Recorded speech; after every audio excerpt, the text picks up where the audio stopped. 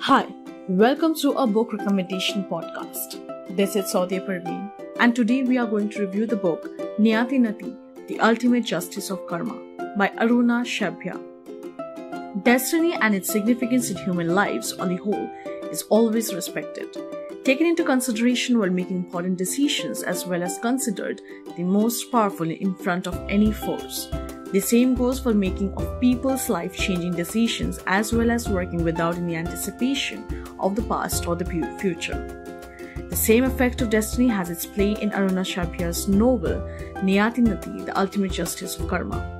In addition to writing other forms of writing, including one in the Hindi language too, she takes up the theme of explaining destiny, its role in shaping people's life, the decisions as well as the events that happen when it pulls the strings. The novel has the interplay of destiny, life, the choices people make, and the consequences they face eventually.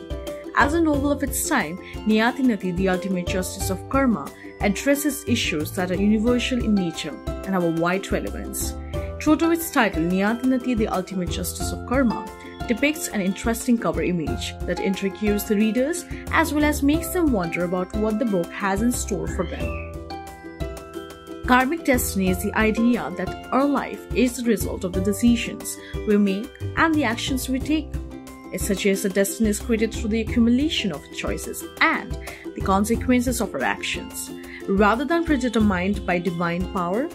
The idea finds frequent references through Niyati the ultimate justice of karma, through Vivek's life, all that he goes through, and the resultant decision he makes thus. In Niyati Nati, The Ultimate Justice of Karma, the author examines the concept of karma and destiny in detail, drawing on a variety of spiritual and philosophical sources to explore the role of choice and consequences in creating our life paths.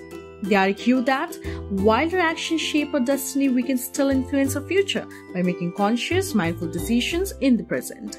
While the narrative swings its actions amongst the metropolitan and non-metropolitan cities of India, the author successfully connects the readers to the different places through her references and understanding of life as it exists in the places.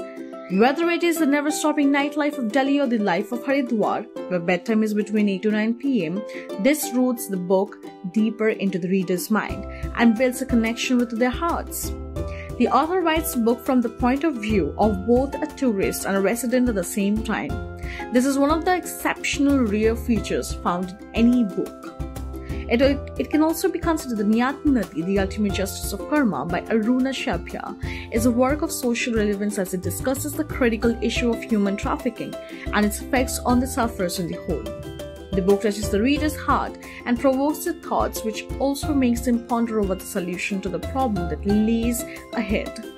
Hence, its relevance raises on a larger level. The author also looks at how the level in karma and destiny has been impressed in different cultures throughout the story in Niyati the ultimate justice of karma. Whether it is Vivek's mother observing destiny, exerting its control when he chooses to walk the path of his father, or his actions, which carry the impressions of his father's fearless style, the author creates a nuanced and depth exploration of this ancient idea. The reasons are similar as well as different, but the effect of destiny is persuasive and visible in both times. The readers notice this effect equally closely and hence are engrossed in the book throughout the time it finishes. Since the book is available in both Hindi and English versions, it makes sure to reach out to as many readers as it can develop a connection that will also make the book a recommended reading, not just for the ones who read it, but also in their circle. Niyati Nati, The Ultimate Justice of Karma is recommended to all readers who are interested in reading about facts or fiction. It is also recommended to those who would like to relive their youth through the beaming characters and experience the energy and the life they have in them. While this energy would remind them of their old days, it would also trace the fine line that the author has drawn in the different phases of life, where one phase is of happy days, followed by the sad days, and eventually getting down to the serious business of the life that follows later. This also ensures that the book is not limited in relevance to any single age group and reaches out to all readers, whether elder or younger, and ensures that there is something or the other for every reader to read, enjoy, look forward to, or relieve. Thank you.